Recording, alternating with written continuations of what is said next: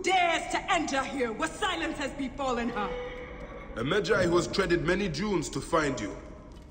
Hide if you must, Hyena. But this tomb will not protect you. I demand that you stop here. Turn back now and I will ex-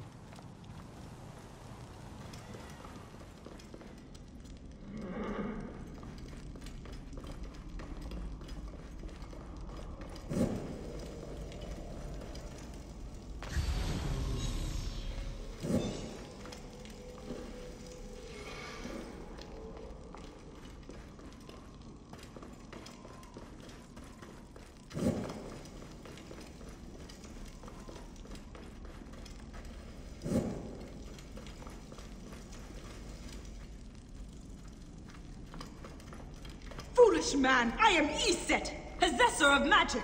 The gods live here, not you. What sort of mischief is she entertaining?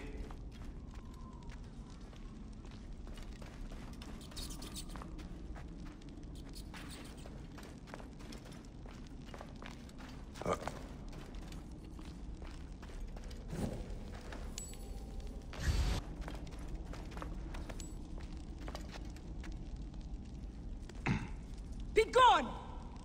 Osiris cannot be disturbed!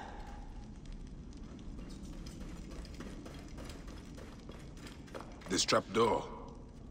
What is it protecting? Heathen! The wakeful one is asleep! Go no further, or I will drench these arid plains with your blood!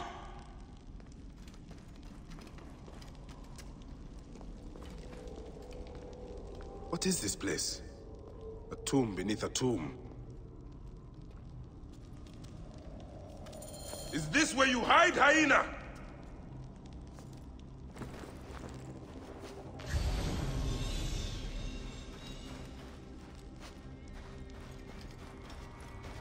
What gruesome madness happened here? A dark place with a window to the gods. What kind of ritual is she performing?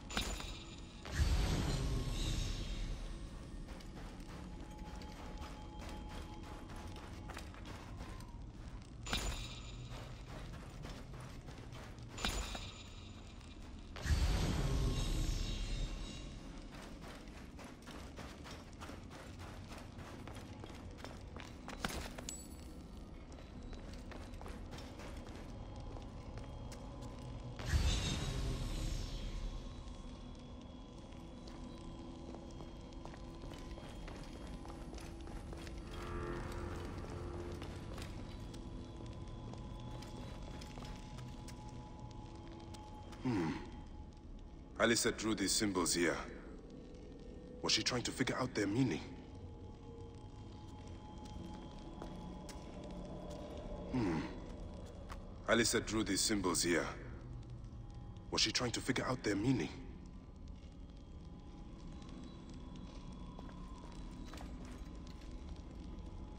Still warm. And the ceremonial knife. This was a sacrifice.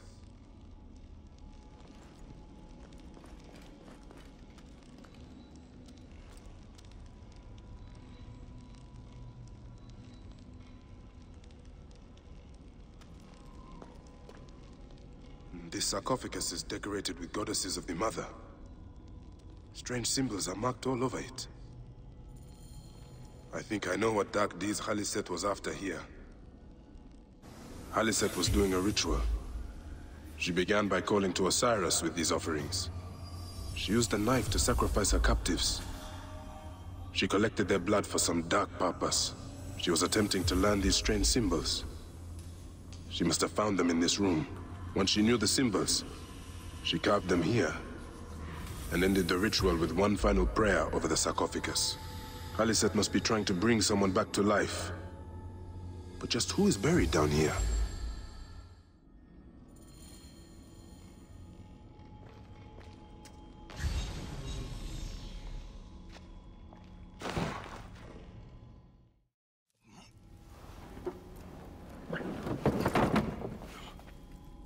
Child.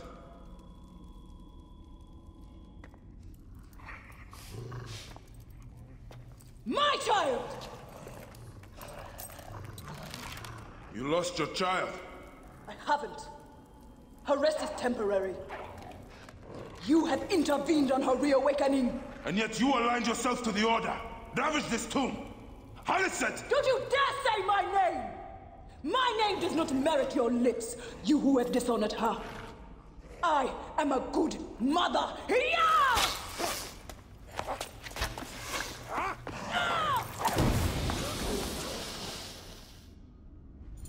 You're no match for me, desert scum!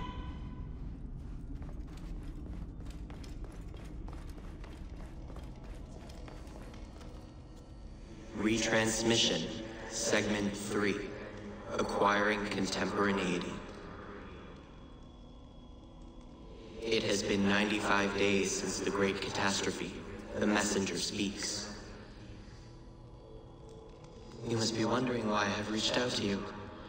It was written, you see, that you would come to this particular chamber at this very moment in time. The walls told us of your coming when we once were. Look at them. Are they not fascinating? One of here, of here of a tragic story. A story we transcribed on our structures, on our artifacts. A story we cannot alter.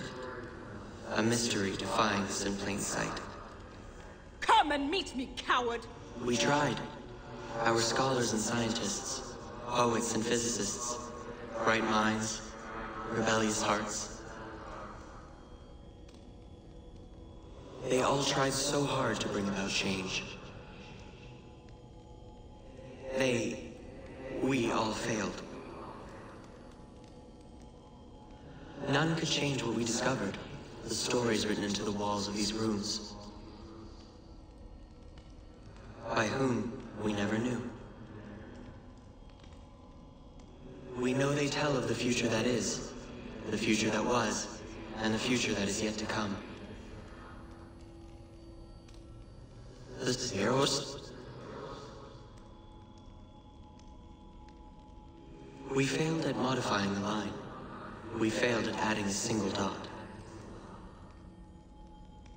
It was clear. We were to be messengers at best. But messengers to whom? To you. We removed our ability to read those stories from your original template. A doorway that is also a puzzle. We must find the solution. Those were Brutus's words when he visited the vault under the Colosseum more than 2,000 years ago. He drew the vault, sketched it to the best of his abilities, but he could not see.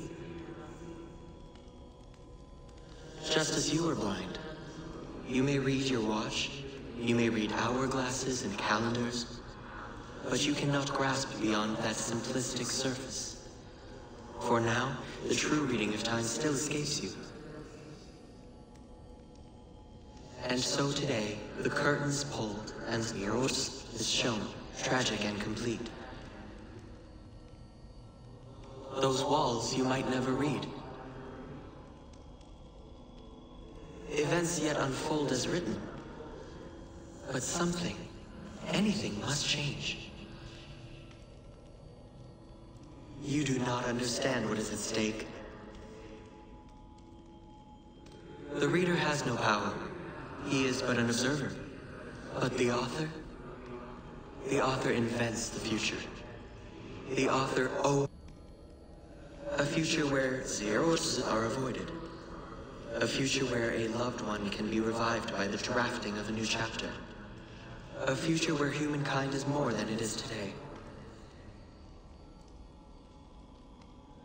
A future where, just perhaps, we can all still exist together.